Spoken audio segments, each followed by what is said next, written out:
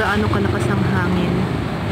Magpa 5 o'clock pa lang, sabi nila mag start ang malakas na hangin or malakas na bagyo at around 7 o'clock onwards. So, titignan natin guys kung ano ang mangyayari. Sana wala naman masyadong madadamage. Tingnan nyo yung ano, nakikita nyo ba ang sky? Ang lakas ng ano ng clouds.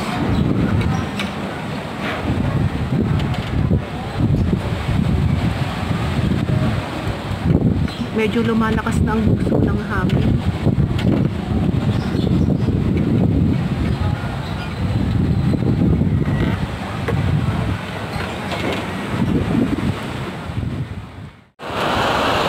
Guys, 6 o'clock na. Ang lakas na ng ulan at hangin. 6 o'clock pa lang yan. Parating na talaga si Bagyong Rolly.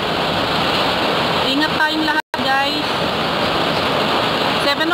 7 o'clock daw tayo mahigit eh. Ang Cavite. Ayan, meron ng ulan. May kasama ng hangin. Medyo malakas na.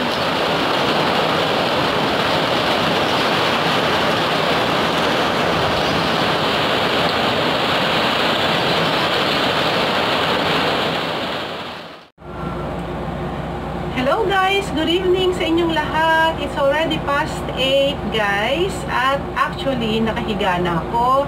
Patulog na ako actually.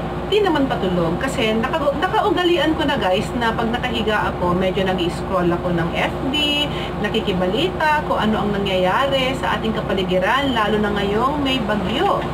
So guys, pasensya na kayo at hindi na ako nagsuklay. Basta tumayo na lang ako, sindihan ko ang ilaw, gusto ko lang kayong i-update. So, eto na ako sa harapan ninyo. Walang ayos. Sorry for that, guys.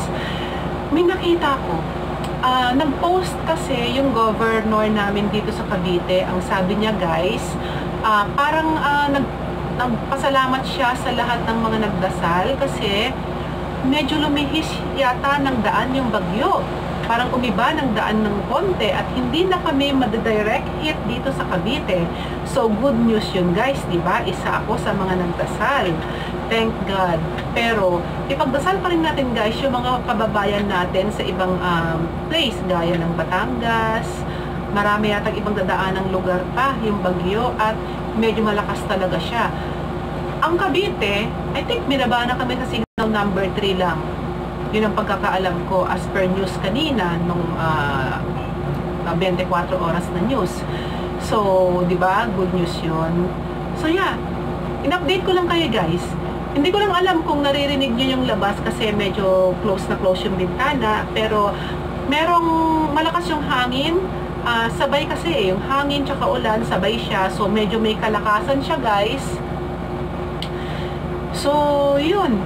Sana naman totoo na lumihis na nga yung bagyo guys para at least. At saka sana matapos na para bukas paggising natin paglabas ko dun maliwanag na kagad diba yung tapos ng bagyo as in maliwanag na. So yun guys in-update ko lang kayo.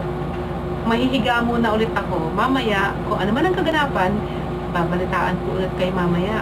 Stay tuned lang ha. Hintayin nyo ako. Chichismisan ko ulit ka huwag kayong matutulog Good morning guys!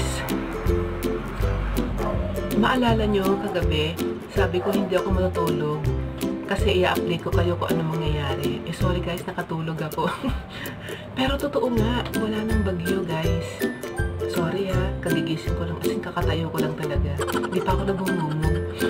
Wala na, hindi nga pala bumagyo kagabi, as in tahimik na siya. Wala akong narinig kahit na konting Wala nang bagyo. Thank God. Oh, clear na. ba diba, sabi ko kagabi, pagising ko, sana okay na, may araw na. Ayan, umaaraw na. Hindi ganoon ka-araw, pero ma maaraw na. So, wala nang bagyo. Yay! So, yun guys, yun lang. Good morning sa inyong lahat. Alas 7 na ng umaga, kagigising ko lang. Medyo may pagka, ano pa rin, hindi pa ganun ka full blast yung araw, pero maganda na yung panahon. Lumabas na ng uh, PAR, Philippine Area of Responsibility yung bagyo. So, yun lang guys. Good morning sa inyo lahat. God bless everyone. Bye!